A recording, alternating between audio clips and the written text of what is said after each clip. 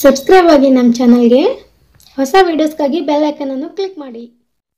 Hello friends ಎಲ್ಲರಿಗೂ ನಮಸ್ಕಾರ. ಲಕ್ಷ್ಮೀ ಪಾಕಶಾಲೆ ಕಾರ್ಯಕ್ರಮಕ್ಕೆ ಸ್ವಾಗತ. ಇವತ್ತಿನ ದಿನ ಫ್ರೆಂಡ್ಸ್ ನಾನು ರೊಟ್ಟಿಗೆ, ಚಪಾತಿ ಜೊತೆಗೆ ಮತ್ತು ಊಟದಲ್ಲಿ ಸೈಡ್ ಡಿಶ್ ಆಗಿ ಒಂದು ಒಳ್ಳೆ ಬೆಂಡೆಕಾಯಿ ಎಗ್ ಫ್ರೈ ಮಾಡ್ಕೊಳ್ಳೋದು ಯಾವ ರೀತಿ ಅಂತ ತೋರಿಸ್ಕೊಡ್ತಾ ಇದ್ದೀನಿ. ನೀವು ಬೆಂಡೆಕಾಯಿ ಫ್ರೈ ಮಾಡ್ಕೊಂಡಿರ್ತೀರಾ ಅಥವಾ ಎಗ್ ಫ್ರೈನ ಮಾಡ್ಕೊಂಡಿರ್ತೀರಾ? ಎರಡನ್ನೂ ಒಟ್ಟಿಗೆ ಸೇರಿಸ್ಬಿಟ್ಟು ಒಂದು ಒಳ್ಳೆ ಕಾಂಬಿನೇಷನ್ನಲ್ಲಿ ನಾವು ಮೊಟ್ಟೆ ಬೆಂಡೆಕಾಯಿ ಫ್ರೈ ಮಾಡ್ಕೊಳ್ಳೋದು ಯಾವ ರೀತಿ ಅಂತ ತೋರಿಸ್ಕೊಡ್ತಾ ಇದ್ದೀನಿ. ತುಂಬ ಅಂದರೆ ತುಂಬ ಚೆನ್ನಾಗಿರುತ್ತೆ ಟೇಸ್ಟು ಯಾವಾಗಲೂ ಮನೆಯಲ್ಲಿ ಒಂದೇ ಥರ ಪಲ್ಯಗಳು, ಸಾಂಬಾರುಗಳು ತಿಂದು ಬೇಜಾರಾಗಿದ್ದರೆ ಫ್ರೆಂಡ್ಸ್ ಖಂಡಿತ ಒಂದ್ಸಲ ಈ ಥರ ಎಗ್ ಬೆಂಡೆಕಾಯಿ ಫ್ರೈನ ಟ್ರೈ ಮಾಡಿ ನೋಡಿ. ನಿಜವಾಗ್ಲೂ ಮನೆ ಮಂದಿ ಎಲ್ಲ ತುಂಬ ಇಷ್ಟಪಟ್ಟು ಊಟ ಮಾಡ್ತಾರೆ. ಮತ್ತು ಬ್ಯಾಚುಲರ್ಸ್ಗೂ ಕೂಡ ತುಂಬ ಹೆಲ್ಪ್ ಆಗುತ್ತೆ ರೆಸಿಪಿ ಊಟಕ್ಕೆ ಬೇಕಂದಾಕ್ಷಣ ನಾವು ಇದನ್ನು ದಿಢೀರಾಗಿ ರೆಡಿ ಮಾಡ್ಕೊಳ್ಬಹುದು. ಬನ್ನಿ ಹಾಗಿದ್ರೆ ಇದನ್ನು ಮಾಡೋದು ಯಾವ ರೀತಿ ಅಂತ ನೋಡೋಣ. ಮೊದಲೇದಾಗಿ ಗ್ಯಾಸ್ ಆನ್ ಮಾಡ್ಕೊಂಡ್ಬಿಟ್ಟು ಒಂದು ಪಾತ್ರೆ ಇಟ್ಕೊಳ್ಳಿ. ಪಾತ್ರೆ ಚೆನ್ನಾಗಿ ಬಿಸಿ ಆದ ನಂತರ ಎಣ್ಣೆ ಹಾಕ್ಕೊಳ್ಳೋಣ ಎಣ್ಣೆ ಚೆನ್ನಾಗಿ ಬಿಸಿ ಆದ ನಂತರ ಇಲ್ಲಿ ನಾನು ಬೆಳ್ಳುಳ್ಳಿ ಹಾಕ್ತಾ ಇದ್ದೀನಿ ಒಂದು ಗಡ್ಡೆಯಷ್ಟು. ಸ್ವಲ್ಪ ಜಜ್ಜಿಬಿಟ್ಟು ಹಾಕ್ಕೊಳ್ಳಿ ಸಿಪ್ಪೆ ಹಾಗೆ ಇರಲಿ. ನಂತರ ಅರ್ಧ ಚಮಚದಷ್ಟು ಜೀರಿಗೆ ಹಾಕ್ಕೊಳ್ಳಿ ಇದನ್ನ ಇವಾಗ ಒಂದ್ಸಲ ಚೆನ್ನಾಗಿ ಫ್ರೈ ಮಾಡ್ಕೊಳ್ಬೇಕು. ಅದಾದ ನಂತರ ಒಂದು ಮೀಡಿಯಮ್ ಸೈಜ್ ಈರುಳ್ಳಿನ ಈ ರೀತಿಯಾಗಿ ಸ್ವಲ್ಪ ಸ್ಲೈಸ್ ಮಾಡಿಬಿಟ್ಟು ಹಾಕ್ಕೊಳ್ಳಿ ಉದ್ದುದ್ದಿಗೆ ಹೆಚ್ಚಿಬಿಟ್ಟು. ಈರುಳ್ಳಿನೂ ಅಷ್ಟೇ ಎಣ್ಣೆಗೆ ಹಾಕಿದ ನಂತರ ನೋಡಿ ಚೆನ್ನಾಗಿ ಫ್ರೈ ಮಾಡ್ಕೊಳ್ಳಿ.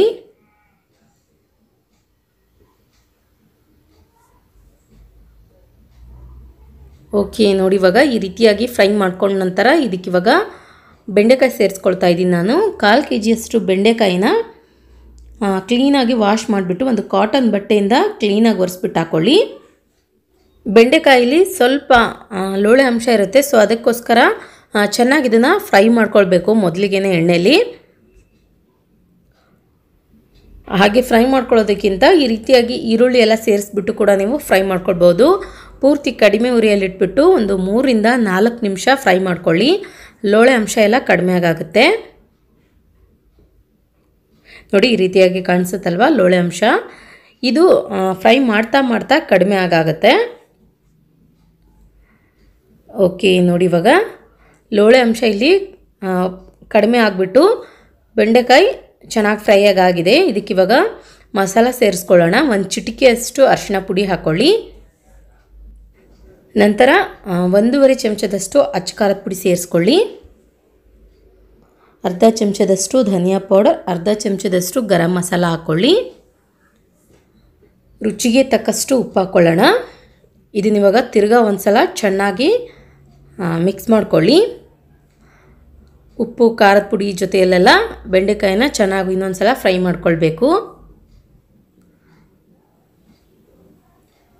ತುಂಬ ಸಿಂಪಲ್ ಆಗಿದೆ ಫ್ರೆಂಡ್ಸ್ ಮಾಡೋ ವಿಧಾನ. ಯಾರು ಬೇಕಾದರೂ ಕೂಡ ಟ್ರೈ ಮಾಡಬಹುದು ನಮಗೆ ದಿಢೀರಾಗಿ ಊಟಕ್ಕೆ ಏನಾದರೂ ಸೈಡ್ ಡಿಶ್ ಬೇಕಂತಂದರೆ ಚಪಾತಿಗಾಗಿರ್ಬೋದು, ರೊಟ್ಟಿಗಾಗಿರ್ಬೋದು, ಎಲ್ಲೋ ಹೊರಗಡೆ ಹೋಗಿ ಬಂದಿರ್ತೀವಿ.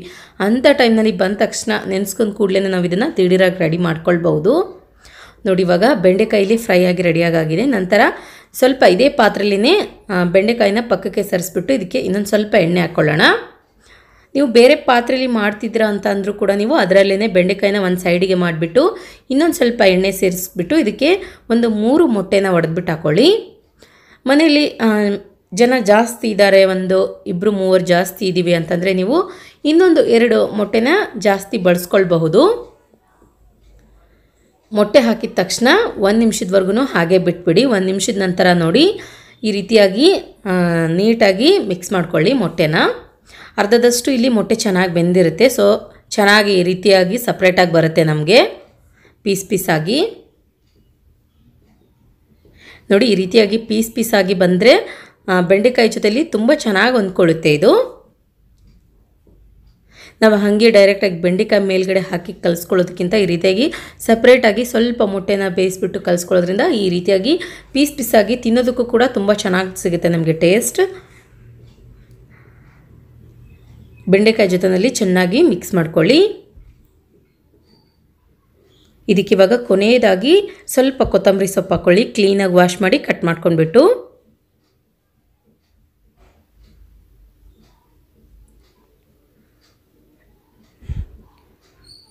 ವಾವ್, ನೋಡಿ ಫ್ರೆಂಡ್ಸ್ ಇವಾಗ ಸಖತ್ತಾಗಿ ಟೇಸ್ಟಿಯಾಗಿರೋ ಮೊಟ್ಟೆ ಬೆಂಡೆಕಾಯಿ ಫ್ರೈ ಇಲ್ಲಿ ರೆಡಿಯಾಗಿದೆ ನೋಡಿದ್ರಲ್ಲ, ಯಾವ ರೀತಿಯಾಗಿ ನಾವು ತುಂಬ ಸಿಂಪಲಾಗಿ ಟೇಸ್ಟಿಯಾಗಿ ಮೊಟ್ಟೆ ಬೆಂಡೆಕಾಯಿ ಫ್ರೈ ಮಾಡ್ಕೊಳ್ಳೋದಂತ ನಾ ಮಾಡಿರೋ ಈ ರೆಸಿಪಿ ನಿಮಗೆ ಇಷ್ಟ ಆಗಿದ್ರೆ ಪ್ಲೀಸ್ ಲೈಕ್ ಮಾಡಿ ಶೇರ್ ಮಾಡಿ ಕಮೆಂಟ್ ಮಾಡಿ. ಇನ್ನಷ್ಟು ಈಸಿ ರೆಸಿಪೀಸ್ಗಾಗಿ ನಮ್ಮ ಲಕ್ಷ್ಮೀ ಪಾಕಶಾಲೆ ಚಾನಲ್ಗೆ ಸಬ್ಸ್ಕ್ರೈಬ್ ಆಗೋದು ಮಾತ್ರ ಮರಿಬಾರ್ದು. ಹಲೋ ಫ್ರೆಂಡ್ಸ್ ಎಲ್ಲರಿಗೂ ನಮಸ್ಕಾರ. ಲಕ್ಷ್ಮೀ ಪಾಕಶಾಲೆ ಕಾರ್ಯಕ್ರಮಕ್ಕೆ ಸ್ವಾಗತ. ಇವತ್ತಿನ ದಿನ ಫ್ರೆಂಡ್ಸ್ ನಾನು ಊಟದ ಜೊತೆಯಲ್ಲಿ ಸೈಡ್ ಡಿಶ್ ಆಗಿ ರೊಟ್ಟಿಗಾಗಿರ್ಬೋದು, ಚಪಾತಿಗಾಗಿರ್ಬೋದು ಪರೋಟಕ್ಕಾಗಿರ್ಬೋದು ಅಥವಾ ಖಡಕ್ ರೊಟ್ಟಿಗೂ ಕೂಡ ಒಳ್ಳೆ ಕಾಂಬಿನೇಷನ್ ಕೊಡುತ್ತೆ. ರೈಸ್ ಜೊತೆಗೂ ಕೂಡ ತುಂಬ ಚೆನ್ನಾಗಿರುತ್ತೆ. ಒಂದು ಡಿಫ್ರೆಂಟ್ ಆಗಿ ಮಾಡೋ ಎಗ್ ಕರಿನ ಯಾವ ರೀತಿಯಾಗಿ ಮಾಡ್ಕೊಳ್ಳೋದಂತ ತೋರಿಸ್ಕೊಡ್ತಾ ಇದ್ದೀನಿ ನೀವು ಮಾಮೂಲಿಯಾಗಿ ಫ್ರೆಂಡ್ಸ್ ಎಗ್ ಕರಿ ಮಾಡಿರ್ತೀರಾ ಇಲ್ಲ ಅಂತಂದರೆ ಬದ್ನಿಕಾಯಿ ಪಲ್ಯ ಮಾಡಿರ್ತೀರಾ. ಆದರೆ ಈ ವಿಡಿಯೋದಲ್ಲಿ ಎರಡನ್ನೂ ಒಟ್ಟಿಗೆ ಸೇರಿಸ್ಬಿಟ್ಟು ನಾವು ತುಂಬ ಡಿಫ್ರೆಂಟಾಗಿ ತುಂಬ ವೆರೈಟಿಯಾಗಿ ತುಂಬ ರುಚಿಕರವಾಗಿ ಎಗ್ ಬದ್ನಿಕಾಯಿ ಕರಿ ಮಾಡೋದು ಯಾವ ರೀತಿ ಅಂತ ತೋರಿಸ್ಕೊಡ್ತಾ ಮೊಟ್ಟೆ, ಬದನೆಕಾಯಿ, ಪಲ್ಯ. ಬನ್ನಿ ಫ್ರೆಂಡ್ಸ್ ಹಾಗಿದ್ರೆ ಇದನ್ನು ಮಾಡೋದು ಯಾವ ರೀತಿ ಅಂತ ನೋಡೋಣ. ಮೊದಲದಾಗಿ ಗ್ಯಾಸ್ ಆನ್ ಮಾಡ್ಕೊಂಬಿಟ್ಟು ಒಂದು ಪಾತ್ರೆ ಇಟ್ಕೊಳ್ಳಿ. ಪಾತ್ರೆ ಬಿಸಿ ಆದ ನಂತರ ಒಂದು ಸ್ವಲ್ಪ ಒಣ ಕೊಬ್ಬರಿ ಹಾಕ್ಕೊಳ್ಳಿ ಒಂದೆರಡು ಚಮಚದಷ್ಟು. ನಂತರ ಒಂದು ಚಮಚದಷ್ಟು ಶೇಂಗಾ ಬೀಜ ಹಾಕ್ಕೊಳ್ಳೋಣ ಅರ್ಧ ಚಮಚದಷ್ಟು ಧನಿಯಾ ಬೀಜ, ಒಂದು ಅರ್ಧ ಚಮಚದಷ್ಟು ಬಿಳಿ ಎಳ್ಳು ಹಾಕ್ಕೊಳ್ಳಿ ಒಂದು ಅರ್ಧ ಚಮಚದಷ್ಟು ಜೀರಿಗೆ, ಸ್ವಲ್ಪ ಚಕ್ಕೆ ಸೇರಿಸ್ಕೊಳ್ಳಿ. ಇದನ್ನು ಫ್ರೆಂಡ್ಸ್ ಮೀಡಿಯಮ್ ಫ್ಲೇಮ್ನಲ್ಲಿಟ್ಬಿಟ್ಟು ಚೆನ್ನಾಗಿ ಉರಿಬೇಕು ಎಲ್ಲ ಪದಾರ್ಥಗಳನ್ನು.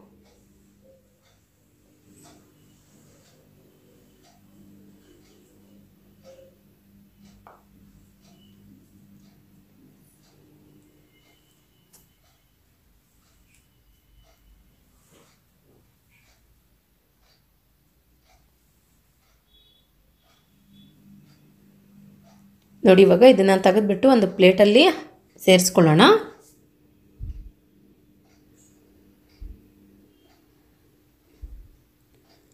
ಅದಾದ ನಂತರ ಫ್ರೆಂಡ್ಸ್ ಒಂದು ಮಿಕ್ಸಿ ಜಾರ್ ತೊಗೊಳ್ಳಿ. ಇದಕ್ಕೆ ಇವಾಗ ನಾವಿಲ್ಲಿ ಹುರಿದಂತಹ ಪದಾರ್ಥಗಳನ್ನೆಲ್ಲ ಸೇರಿಸ್ಬಿಟ್ಟು ಗ್ರೈಂಡ್ ಮಾಡ್ಕೊಳ್ಳೋಣ. ಇದಕ್ಕೆ ಸ್ವಲ್ಪ ನೀರು ಸೇರಿಸ್ಬಿಟ್ಟು ಗ್ರೈಂಡ್ ಮಾಡ್ಕೊಳ್ಬೇಕು. ಓಕೆ ನೋಡಿ, ಇವಾಗ ಮಸಾಲಾನ ನಾನಿಲ್ಲಿ ಗ್ರೈಂಡ್ ಮಾಡಿಬಿಟ್ಟು ರೆಡಿ ಮಾಡಿ ಇಟ್ಕೊಂಡಿದ್ದೀನಿ ಇದನ್ನು ಇವಾಗ ತೆಗೆದುಬಿಟ್ಟು ಒಂದು ಕಪ್ಗೆ ಹಾಕ್ಕೊಳ್ಳಿ.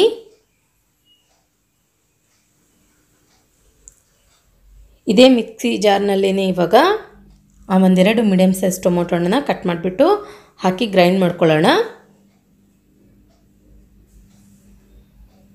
ಓಕೆ ನೋಡಿ ಫ್ರೆಂಡ್ಸ್ ಇವಾಗ ನಾನಿಲ್ಲಿ ಈ ರೀತಿಯಾಗಿ ಗ್ರೈಂಡ್ ಮಾಡ್ಕೊಂಡ್ಬಿಟ್ಟು ರೆಡಿ ಮಾಡಿ ಇಟ್ಕೊಂಡಿದ್ದೀನಿ ನಂತರ ಗ್ಯಾಸ್ ಆನ್ ಮಾಡ್ಕೊಂಡ್ಬಿಟ್ಟು ಅದೇ ಪಾತ್ರೆ ಇಟ್ಕೊಳ್ಳಿ. ಪಾತ್ರೆ ಬಿಸಿ ಆದ ನಂತರ ಇಲ್ಲಿ ನಾನು ಎಣ್ಣೆ ಹಾಕಿದ್ದೀನಿ. ಎಣ್ಣೆ ಬಿಸಿ ಆದ ನಂತರ ಒಂದು ಐದು ಬದನೆಕಾಯಿನ ಕ್ಲೀನಾಗಿ ವಾಶ್ ಮಾಡಿಬಿಟ್ಟು ಈ ರೀತಿಯಾಗಿ ಸೆಂಟ್ರಲ್ಲಿ ಕಟ್ ಮಾಡಿಬಿಟ್ಟು ಹಾಕ್ಕೊಳ್ಳಿ ಆದಷ್ಟು ಫ್ರೆಂಡ್ಸ್ ನೀವು ಇದನ್ನು ಮಾಡೋದಕ್ಕೆ ಸ್ವಲ್ಪ ಬದನೆಕಾಯಿ ಎಳೆದಾಗಿರೋದನ್ನು ಯೂಸ್ ಮಾಡಿ. ಅಂದರೆ ಕರಿ ಇನ್ನೂ ಟೇಸ್ಟಾಗಿ ಆಗುತ್ತೆ. ಇದನ್ನ ಇವಾಗ ಚೆನ್ನಾಗಿ ಫ್ರೈ ಮಾಡ್ಕೊಳ್ಬೇಕು ಎಣ್ಣೆಲಿ.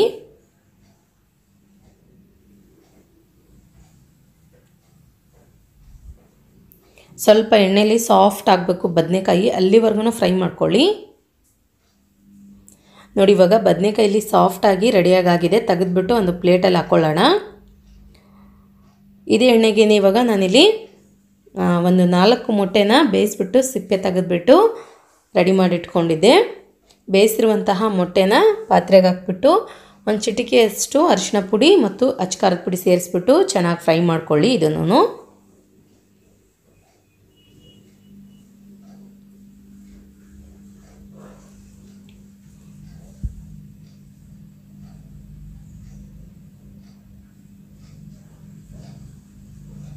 ಓಕೆ, ನೋಡಿ ಫ್ರೆಂಡ್ಸ್ ಇವಾಗ ರೆಡಿಯಾಗಿದೆ ತೆಗೆದುಬಿಟ್ಟು ಒಂದು ಪ್ಲೇಟಿಗೆ ಹಾಕ್ಕೊಳ್ಳೋಣ ಅದಾದ ನಂತರ ಇದೇ ಪಾತ್ರೆಗೆ ಇವಾಗ ಇನ್ನೊಂದು ಸ್ವಲ್ಪ ಎಣ್ಣೆ ಹಾಕ್ಕೊಳ್ಳಿ ಎಣ್ಣೆ ಚೆನ್ನಾಗಿ ಬಿಸಿ ಆದ ನಂತರ ಜೀರಿಗೆ ಸೇರಿಸ್ಕೊಳ್ಳಿ. ಜೀರಿಗೆ ಚೆನ್ನಾಗಿ ಚಿಟಪಟ ಅಂತ ಸಿಡಿದ ನಂತರ ಸ್ವಲ್ಪ ಕರಿಬೇವಿನ ಸೊಪ್ಪು ಹಾಕ್ಕೊಳ್ಳೋಣ ಅದಾದ ನಂತರ ಒಂದು ಮೀಡಿಯಮ್ ಸೈಜ್ ಈರುಳ್ಳಿನ ಸಣ್ಣದಾಗಿ ಹೆಚ್ಚಿಬಿಟ್ಟು ಹಾಕ್ಕೊಳ್ಳಿ ಈರುಳ್ಳಿ ಸೇರಿಸ್ಕೊಂಡ ನಂತರ ನೋಡಿ ಚೆನ್ನಾಗಿದನ್ನು ಒಂದು ಸಲ ಫ್ರೈ ಮಾಡ್ಕೊಳ್ಳಿ.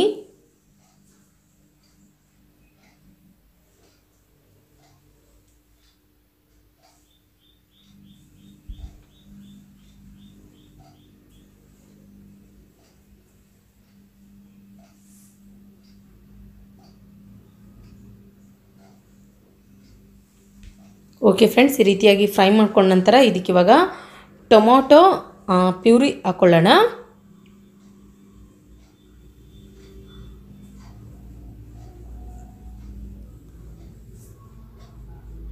ಇದನ್ನು ಅಷ್ಟೇ ಸ್ವಲ್ಪ ಹಸಿ ವಾಸನೆ ಹೋಗೋವರೆಗೂ ಚೆನ್ನಾಗಿ ಫ್ರೈ ಮಾಡ್ಕೊಳ್ಳಿ.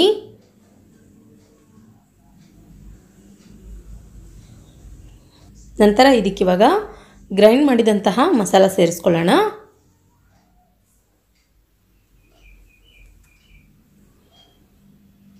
ಈ ಮಸಾಲ ಸೇರಿಸ್ಕೊಂಡ ನಂತರ ನೋಡಿ ಫ್ರೆಂಡ್ಸ್, ಚೆನ್ನಾಗಿ ಇದನ್ನು ಮಿಕ್ಸ್ ಮಾಡ್ಕೊಳ್ಳಿ.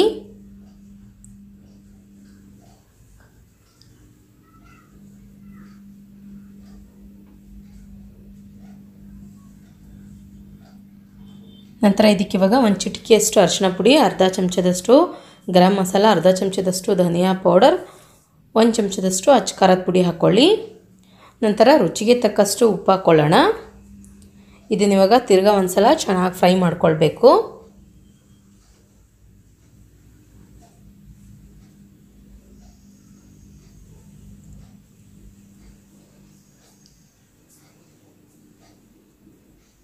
ನಂತರ ನೋಡಿ ಇದಕ್ಕೆ ಇವಾಗ ನೀರು ಸೇರಿಸ್ಕೊಳ್ಳಿ.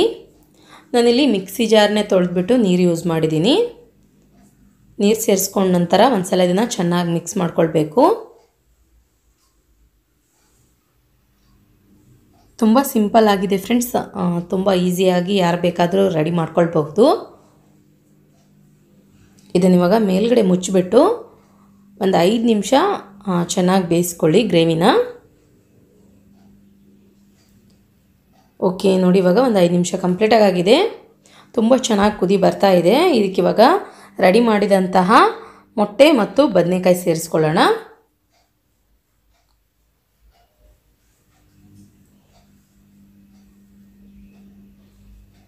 ಇದನ್ನ ಇವಾಗ ಒಂದ್ಸಲ ಚೆನ್ನಾಗಿ ಮಿಕ್ಸ್ ಮಾಡ್ಕೊಳ್ಳಿ. ಈ ರೀತಿಯಾಗಿ ಮಿಕ್ಸ್ ಮಾಡ್ಕೊಂಡ ನಂತರ ನೋಡಿ ಫ್ರೆಂಡ್ಸ್ ರುಚಿ ನೋಡ್ಕೊಳ್ಳಿ. ಸಾಲ್ಟ್ ಏನಾದರೂ ಕಡಿಮೆ ಅನಿಸಿದರೆ ಇನ್ನೊಂದು ಸ್ವಲ್ಪ ಆ್ಯಡ್ ಮಾಡ್ಕೊಳ್ಬಹುದು ನೀವು. ಇದನ್ನ ಇವಾಗ ತಿರ್ಗಾ ಮೇಲ್ಗಡೆ ಮುಚ್ಚಿಬಿಟ್ಟು ಒಂದು ಎಂಟರಿಂದ ಹತ್ತು ನಿಮಿಷ ಪೂರ್ತಿ ಕಡಿಮೆ ಉರಿಯಲ್ಲಿಟ್ಬಿಟ್ಟು ಬೇಯಿಸ್ಕೊಳ್ಳಿ.